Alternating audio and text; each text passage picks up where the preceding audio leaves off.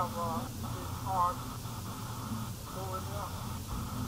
Yes, sir. You need to place a photo ID in the scanner. It's a small door that you need to open up. Place your ID with the face part of the ID against the glass and then close the door for me. There's also a physical guard on site for this uh, community that could possibly remember the name of your company as well. So when that guard gets there, you can also feel free and comfortable to talk with the guard as well, okay? What's going on? Help? I, like, I, ain't, I, I that, but I can't find no car. Are you here to see somebody? Yeah, she and him. She she in the house? No, better In the box? Yeah. All right, what's the name of the person you're here to see? Hello, Miss Price? Yeah, we found your husband over here by Griffin and Angler Drive. Yeah, we, we didn't find him. Found himself over here at the Harbor Isle. Found her like that. What I'm gonna do is I'm gonna have your wife go take you home, right?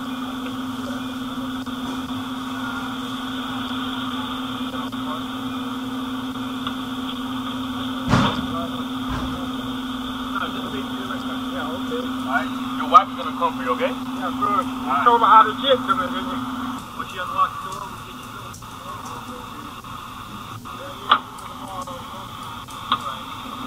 going. Okay, open around the house, not out here in the middle of the night. You'll go to bed.